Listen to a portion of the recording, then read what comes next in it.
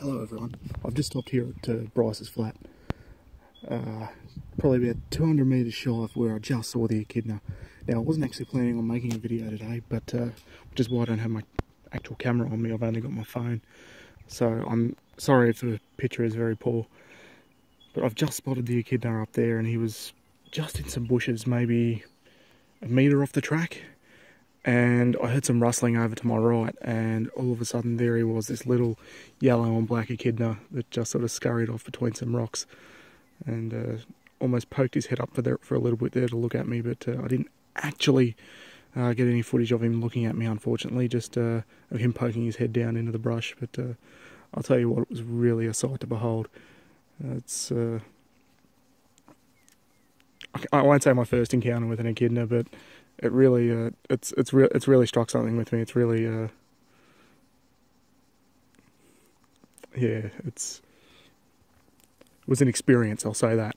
Uh, it's one thing to encounter koalas and kangaroos around the city, but uh, it's another thing to be out here in the bush and to encounter things like, uh, like such unique native fauna like uh, like an echidna or a a wallaby or something like that. That's you, you don't sort of see so much of in the middle of the city.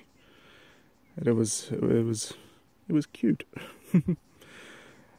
it it's to me gives me a new perspective of uh, how unique Australia really is um, as far as our bushland goes, and as far as uh, this area here in the uh, in the Hepburn State Forest, of how unique not just the gum trees or the water that we've got over there to my left, or to the the the walking tracks that we have around here, but just to the uh, unique animals and wildlife and even a lot of the trees and things like that that we have around here, like the wattles and you know the bottlebrush and things like that. And if I've gotten any of that wrong, please feel free to correct me. But to me, it gives me perspective of why my grandparents chose to come here uh, 62 years ago, I believe, for my mother's parents and I think it was 50,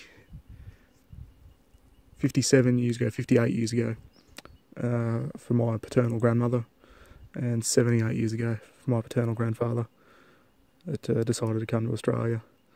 And it's those kinds of encounters there with that echidna that uh, helps me to remember why, why they chose to come here.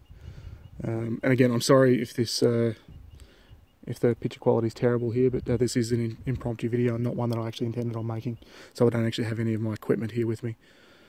Alright, so thanks for uh, thanks for watching, and uh, I'll see you next time.